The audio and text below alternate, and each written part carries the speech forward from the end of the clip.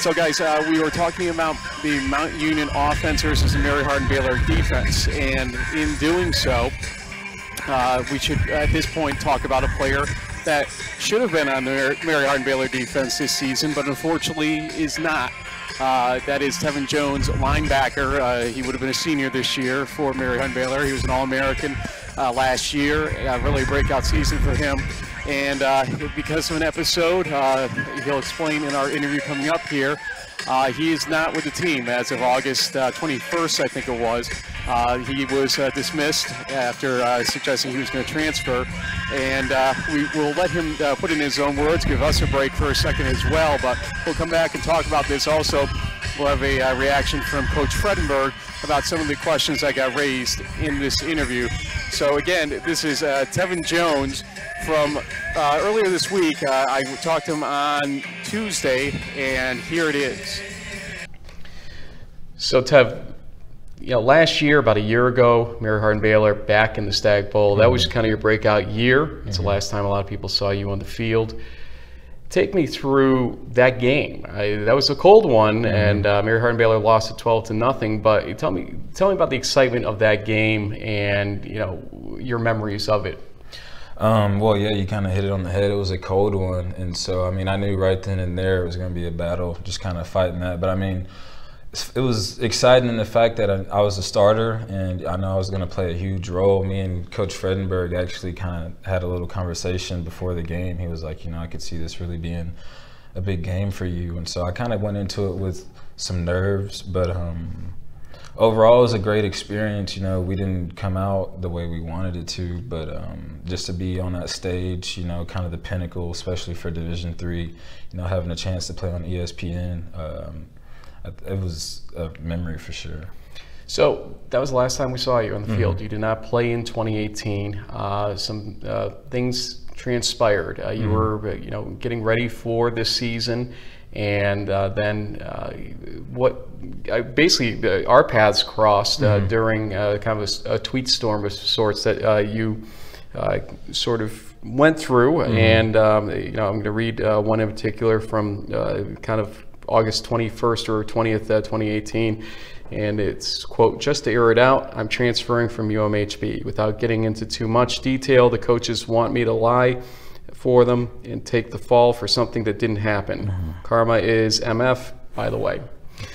So, okay, let, us lead into what led to that mm-hmm. first and then what transpired subsequent to that. So, what happened? Why why this tweet in the first place? Um, so, just to state, it was really an, an emotional kind of fueled tweet in response to everything. But So right before fall camp, I believe the Thursday before fall camp, um, me and a buddy go out, and um, we only go to we went to one bar, so to speak, and um, didn't have much to drink, and I guess it had triggered a psychosis. And basically, a psychosis is a disconnect from reality in a sense, and you just kind of have delusions about everything, and so um, that kind of led to me running into some legal issues. I ended up getting arrested that same night, and so um, I ran into some legal issues, and I ended up missing the start of fall camp. Uh, I, so fall camp was that following Saturday, and so I missed that.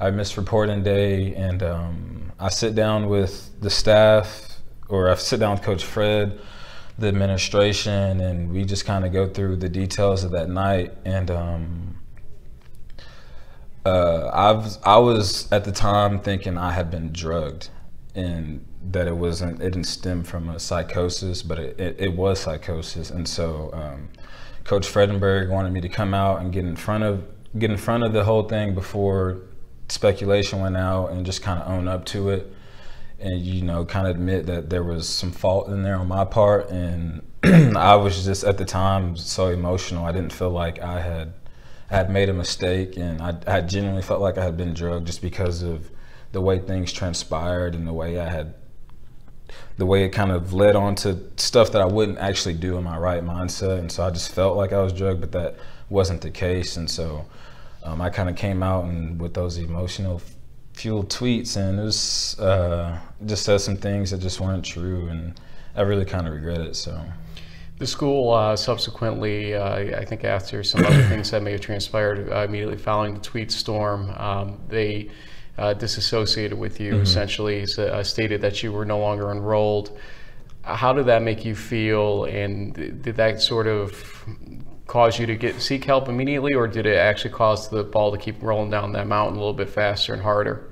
Um, I think at the time it caused the ball to just kind of keep rolling. Um, I hadn't really got a grip on my emotions just yet. Um, I was still really emotional about just not playing ball and kind of just the response I was getting. And um, so it was just an emotional fueled thing. And just whenever I, whenever they came out, my dad was the one who kind of told me like they were taking down my thing on the field house because I got elected captain. And so I was just like, man, it's just one thing after another. And so it just really just mounted everything else that had already went went down. So now you, uh, for a lot of folks that don't know, are uh, basically a forever native of uh, the Belton, mm-hmm. Texas area. You went to Belton High School, which is right down the street from uh, Mary Hardin Baylor. Um, you've been staying with your grandparents, I understand, uh, mm-hmm. who've uh, been tremendous in trying to be support for you. Mm-hmm. What finally triggered you seeking, let's say, some sort of help mm-hmm. here with what you identify as, as psychosis? So um, a few weeks had passed and things didn't really progress as far as me getting over the emotional part of it and kind of I was still experiencing some delusions and everything. And eventually I just one day one morning I woke up and just kind of had a mental breakdown so to speak and kind of went on a rampage if you will in their backyard and just destroyed some things. And um, that was just kind of the straw and my family was like okay you need help. And I went and checked in into a facility for about two weeks in Georgetown, and that's when I kind of got the help I needed and got on the right meds and everything.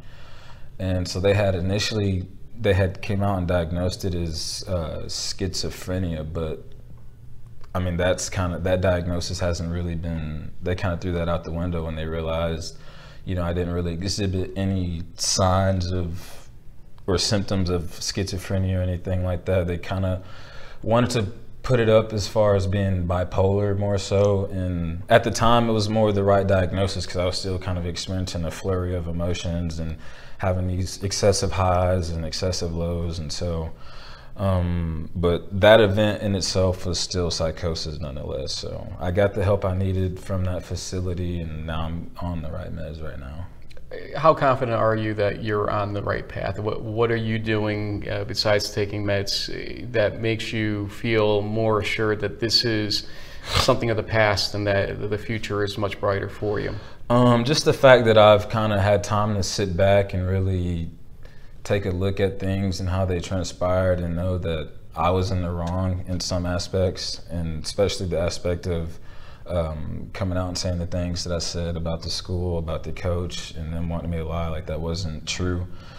And um, I just knew it was a part of myself, and is becoming a man is one of those things is owning up to your mistakes and that was something that i needed to do and so this was the first step. Now uh, has talked to coach Fredenburg uh, since uh, the events uh, and how has that gone? Uh, what has his response been to you generally um, it's always been nothing but love from Coach Fred, and that's kind of how it was in the beginning. But his response was just, "Look, I thought it was something chemically going on with you," and um, that was kind of the thought of a lot of people around me. And he was just like, um, "I wanted, I wanted this to be like your year just as much as you wanted it to be," and um, I just kind of, I hate that things happen the way they did. But he's, he's kind of, he's always embraced me with open arms with all my issues that I've had. So. After uh, some of the discussions you had, uh, you posted on Instagram and uh, quoting you again, this was from uh, November 29th, so uh, not that long ago. Uh, this year, by far, has been the most challenging mentally, physically, spiritually, and emotionally. I was really forced to take a step back from life and make God a priority and deal with issues that come back to haunt me. Back in August, I experienced a second bout with psychosis and it threw off everything that I worked for caused me to do, say and do things that wasn't me whatsoever. In the process, I made a statement about the coaching staff at UMHB that wasn't true and was basically a result of an emotional response from my psychosis. I've since made amends with Coach Fredenburg and apologized for the whole ordeal. So you wrote that, um, and it seems like you're trying to take a step mm-hmm. to the future at this point. Would you like to return to Mary Hardin Baylor at some point in time and continue your football career? You have a year of eligibility mm-hmm. left, obviously. Um, I would I would love to honestly um, just kind of finish what I started. I know this kind of wrench kind of put a dampen on things, but I would love to return. Um, I love that school. I love the relationships that I've built there, um, just the environment, the people, and especially being in my hometown. Um, I've experienced nothing but support and love from that whole school system, and so I just returning would returning would be in my best interest, especially for school, considering I've only got a year left in my studies, and so just wanting to finish out with that team and with that coaching staff and um, just finishing my degree would be something I'd love to do. Let's say you had an opportunity to talk to Dr. O'Rear, uh, who is the president of UMHB. Mm-hmm. As, you know, he may have some role in this decision as much as anybody. Mm-hmm. What would you say to him right now about what's happened in the last few months and you know what the future could be instead of the past? Um, I would just kind of express to him like my regrets for one, kind of what I initially came out and said, and then pitch to him the what I've done as far as taking my steps and further and doing my best to become a better person and address the issues that I haven't necessarily addressed in the past, so that these don't these same symptoms and issues don't continue to pop up. So for anybody out there that would say that you've been disassociated with the team for the last mm-hmm. few months and you know you haven't been necessarily supportive, you may have been more of a problem than a benefit to this team mm-hmm. this year. Uh, have you been in communication with your teammates, and what has their reaction been over the last few months? Um, yeah, I've definitely I've stayed in contact with a lot of the guys on the team, and um, it's just been they've been supportive of me the whole time. I mean, they understand they understood that you know it was just something that I wasn't myself in the whole situation, and they they always expressed to me how much they loved me and they wished I was on the team. And so, I mean, I would send them texts before games, just encouraging them, saying just go out there and finish kind of what we started from three, four years ago. So.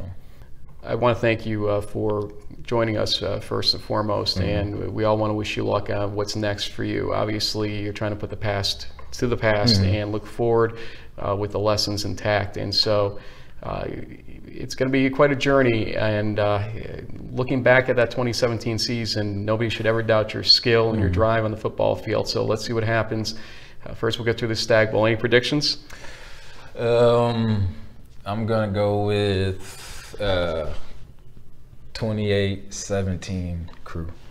Now you you were talking about D'Angelo Fulford a little bit uh, in the past, so um, D'Angelo may be offended by that. He he might be, but um, D'Angelo, man, he's he's his own kind of player. I mean, I think he's somebody that you definitely got to sit down and game plan for. I mean, he's special with, with the ball, and so um, I think if we if we're not on our p's and q's, I mean, he'll attack us and hit those weak spots. So.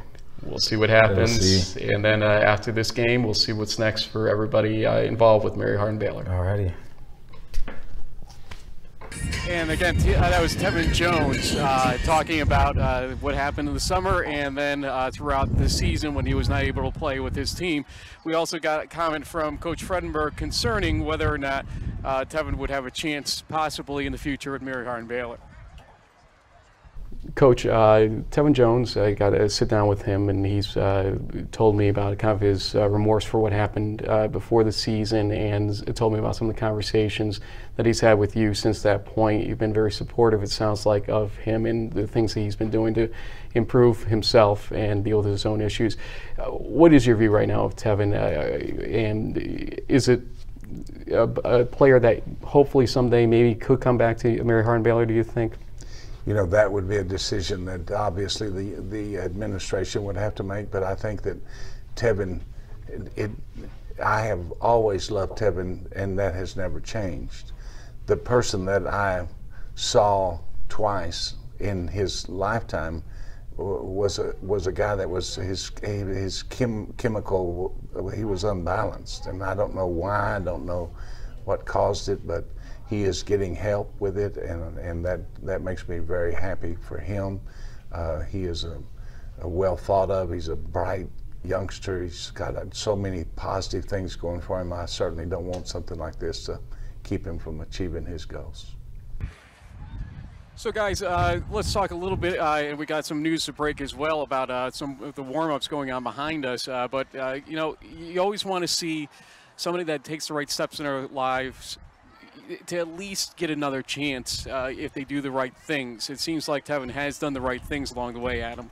Yeah, and it's remarkable uh, how this defense has played so well without him. You know, we thought, you know, in, in kickoff, uh, he was my preseason defensive player of the year in the nation. I thought he'd be the best defensive player in the country, uh, anchoring this defensive middle linebacker. And the fact that they've had such a dominant season, uh, leading the nation in scoring defense, is really a testament to how his team rallied in his absence. Tevin, uh, thank you for not giving him a point on that one, I guess, but unfortunately came at some cost of your own personal livelihood this season. And Greg, what are your thoughts as we exit on this part of the interview? you know, uh, Tevin's story to me uh, helps put some perspective on the game. Like we're, we're here covering football game, and we're you know we take this very seriously, but it is a game, and all of these players and Tevin included, like first and foremost, take care of yourself. Be healthy, be well. Uh, you know, be accountable. Be, you know, uh, you know, Tevin has shown accountability and maturity, and you know, if he gets back to Mary Hardin Baylor and gets to complete his eligibility, you know, that's a great story. Well, uh, we will have more on that, I'm sure, as the off season uh, happens. We'll see if uh, Mir Baylor does give him another chance and keep you updated on that.